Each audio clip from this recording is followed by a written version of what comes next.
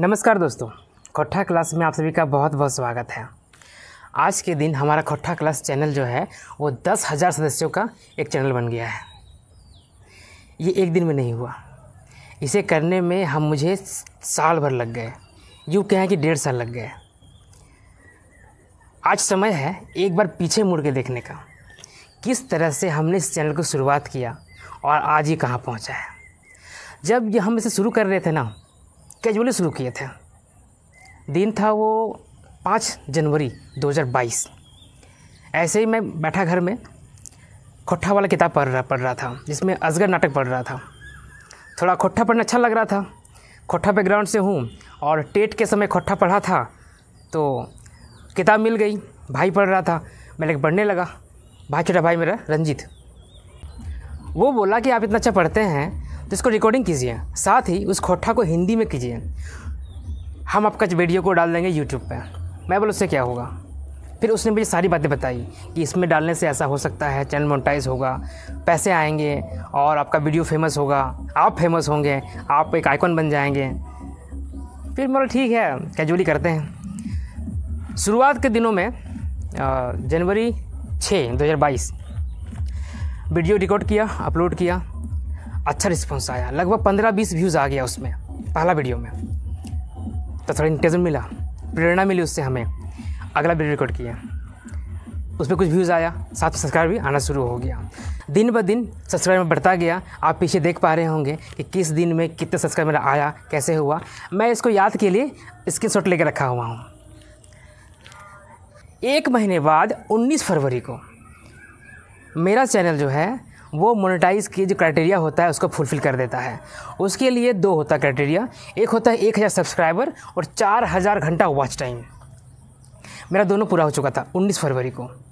जैसे ही पूरा हुआ, तीन बजे अपडेट आया यूट्यूब पे। मेरा पूरा हो गया, भाग के गया भाई के पास। देखो, मेरा पूरा हो गया, इसको मोनेटाइज करो। उसने वहीं पे उसको मोनेटाइज किया। अप्लाई कर दिया सारा कुछ जो करना होता है। अब हम लोग वेट करने लगे गूगल पिन का। 25 मार्च के शाम के समय पोस्टमैन जो है भाई को ही गूगल पिन दिया। बाहर था वो, उसी को मिला, पहचानता था पोस्टमैन ला के दिया वो। वो लेके भागता हुआ आया घर, अब बताया कि आपका चैनल का गूगल पिन आ गया। गूगल पिन एक ऐसा पिन होता है, जो यूट्यूब भेजता है आपको जानने के लिए कि आप जो एड्रेस दिए हैं, आप ऑथेंटिकेट है कि नहीं। आप जेनविन है कि नहीं, कहीं कोई फॉल्स तो नहीं, कहीं कोई रोबोट तो नहीं। वो पिन हमने सबमिट किया, साथ ही मेरा चैनल जो है वो अप्रूव हो गया। अब हमारे चैनल पर एड्स आने शुरू हुए। एड्स आने शुरू हुए मतलब पैसे आने शुरू हो गए इस तरह करते करते जुलाई में हमारा छः हज़ार सब्सक्राइबर आ गया। आप देख पा रहे हैं। इसके बाद क्या हुआ? कि एग्ज़ाम जो होना था वो पोस्टपोन होने का खबर आ गया। आ, कुछ एक क्वेश्चन लीक हो गया तो एजेंसी चेंज होगा। ई बहाना हो गया आपको याद होगा अगस्त में होना था परीक्षा। तो आप लोगों ने देखना भी बंद कर दिया और मेरा भी थोड़ा इसमें इंटरेस्ट कम हो गया। लेकिन मेहनत करना छोड़ा नहीं। मैं कंटिन्यू मेहनत करता रहा वीडियोस अपलोड करता रहा। क्योंकि मैं समझता था कि आज भले एग्ज़ाम लेट हो रहा है, लेकिन एग्ज़ाम होगा ज़रूर। और जल्दी एग्ज़ाम लेगा, फिर इतना सारा सिलेबस है, मैं कवर नहीं कर पाऊँगा। क्योंकि आप लोगों का कमेंट भी आ रहा था, बहुत से लोग मुझे पर्सनली जानते भी हैं। अब एक तरह की ज़िम्मेदारी आ गया था। शुरू किया था कैजुअली में, लेकिन अब मेरा ये रिस्पॉन्सिबिलिटी बन गया था, कि मैं कोर्स को पूरा कर दूँ एटलीस्ट जब शुरू किया हूँ तो।